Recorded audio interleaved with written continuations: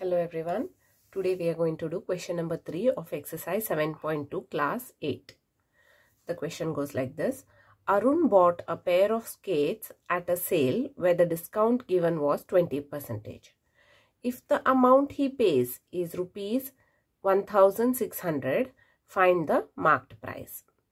Here they are telling us that Arun bought a pair of skates and he paid 1600 rupees for the pair of skates and they were marked as 20% discount. So after 20 percentage discount, he had to pay 1600 rupees. So now they're asking what is the marked price. Marked price means when the discount was not given, what is the full price they are asking us. Now let us see. Today we will be doing a very easy cross multiplication method to find out the full price okay? Now first what are the given conditions? Discount offered is how much percent? Discount offered is 20 percentage. And um, amount paid by Arun.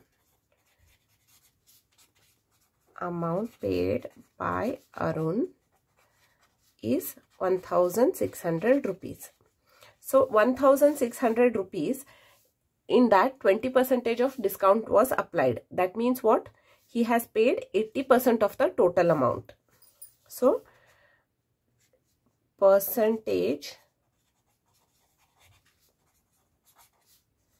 of the price paid.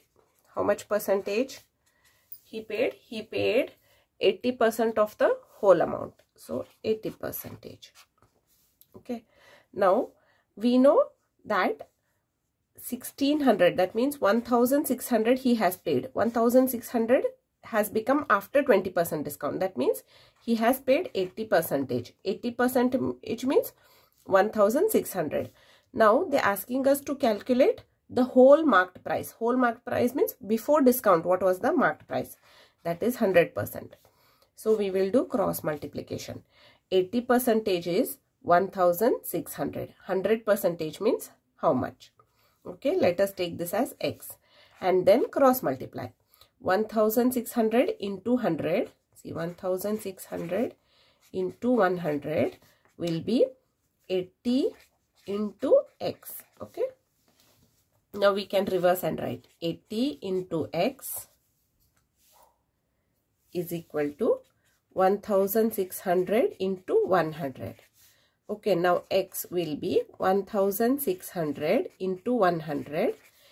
80 goes on the right hand side. It becomes divided by 80. Okay, now 0 and 0 gets cancelled. 8 ones are 8 twos are 16 and double 0. So it becomes 200 into 10.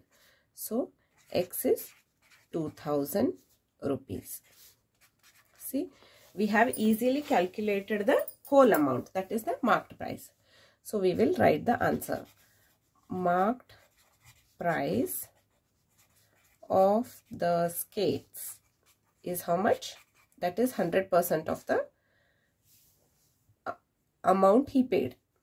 Sorry, he paid 80% that is 1600. So the 100% of the amount that is the marked price. Marked price of the skates is 2000 rupees. This is the answer.